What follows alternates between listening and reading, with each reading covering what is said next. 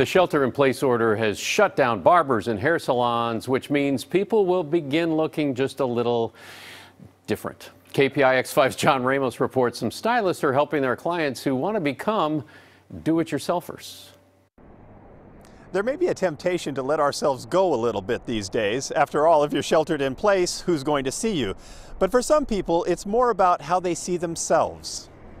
With salons closed, it looks like that haircut or coloring is going to have to wait. But with the advent of video conferencing, we still have to be seen. And for some, that's a harrowing thought. I've got like chia pet hair, and uh, it is, I mean, I feel bad for them, but it is a little amusing sometimes to think about, like, wow, what are they going to look like? And I'm going to know if they did something. It's impossible not to. Edward Goldstein and Jason Murray operate Edward's Salon in Mill Valley, or did until the shelter order shut them down, sending their stylists home without work. But the two business partners are staying busy creating home coloring kits custom made for their individual clients. Welcome to How to Look Your Best During the Zombie Apocalypse. Edward demonstrates applying the tint on his wife in this helpful do it yourself YouTube video.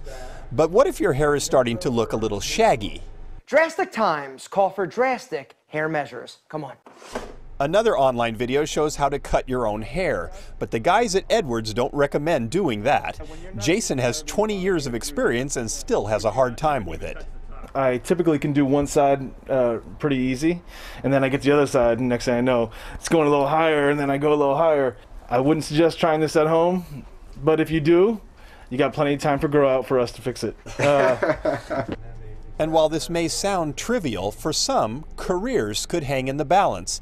In our competitive society, gray hair is seen by many as a weakness, and there is genuine pressure to maintain a youthful look. the young have taken over the tech world, so if you're an older gentleman, chances are you're going to be behind the eight ball already. Doesn't matter how skilled you are sometimes. The coronavirus has made us all feel powerless in one way or another, and for some people, it's not easy to give up something that makes them feel good about themselves.